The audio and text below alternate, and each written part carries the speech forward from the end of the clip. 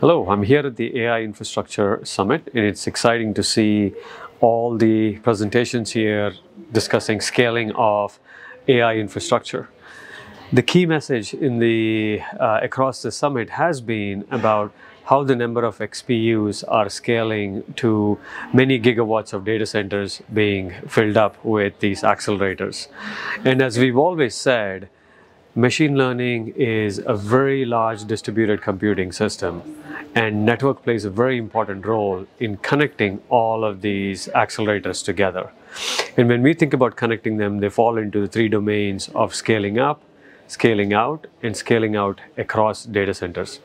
Specific to the scale up, we are a very strong believer that Ethernet will be the technology of choice for scale up for a couple of reasons. One being Ethernet is the only technology that provides a very clean interface between what happens at the network layer and the capabilities that need to be embedded inside the XPU.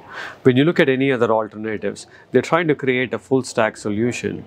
And when the different companies are trying to build XPUs at their own pace, it's very hard for everybody to come down to a least common denominator defined by a whole stack. The second thing, the benefits of you know Ethernet. Ethernet is the only proven reliable technology that can connect inside a rack, across racks, and also scaling of bandwidth every 18 to 24 months, all with a very hyper competitive ecosystem based on open standards. So, just want to summarize by saying network plays an extremely important role in building large scale AI.